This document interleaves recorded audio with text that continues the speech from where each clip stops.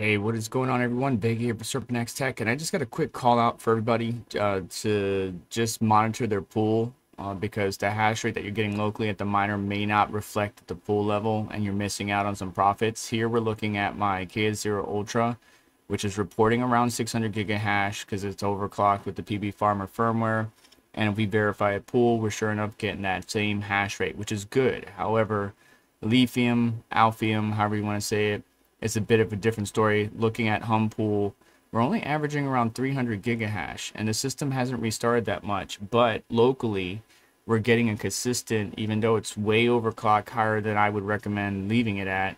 Um, it's still getting close to 560 to 580 gigahash, somewhere in that range. But it's not reporting. And look, there's a new firmware update from PB Farmer. Awesome uh, but it's not reporting at the the pool. Now maybe the firmware update will fix that, but just note like you should always check at the pool level because something isn't right. Even though locally we can see the pool rejection rates at zero percent, like we're getting no rejections at the miner. So it's probably something that's not being read correctly, and the pool's not counting it, and so we're missing out on shares.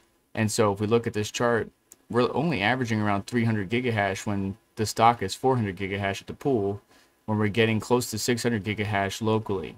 So always check the pool and double check and verify. We could try switching to a different pool to see if the uh, issue persists, if we continue to still see less than 400 gigahash, even though we're almost at 600 right now. Uh, that would be the best test that I would uh, do. But I'm going to do a firmware update and then bring you guys back once we confirm that information. And now after the firmware update, you can see the pool is reporting the correct hash rate. So the previous one, I think it's 0.82. Uh, the hash rate was below 300, around 300 gigahash, right? But now that the firmware update uh, that we're on, I'll link it down in the description to the latest uh, PB Farmer repo.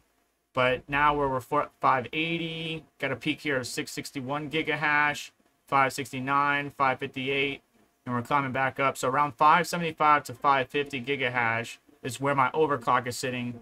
And we're getting that locally at the miner, but now it is correctly showing at the pool. Now it doesn't have the 24 hour rate, hash rate um, updated yet. That's because we haven't gotten a full 24 hours on it. But you can clearly see the difference in the graph from before where our overclocks, while it was showing the correct hash rate at the miner locally, wasn't getting detected or correctly detected at the pool. And after the recent firmware update, it definitely improved the hash rate. So make sure you update to the latest and greatest from PB Farmer. And a huge thanks to them for uh, continuously providing updates on these type of devices. So we'll see what's coming next. But that's going to do it for today's video. Hit that like button on the way out. Make sure to get subscribed, hit notification bell to stay up to date, and check out additional links in the description to help support the channel and what we do here. And you just have yourself a wonderful day. Take care. I'll catch you next one.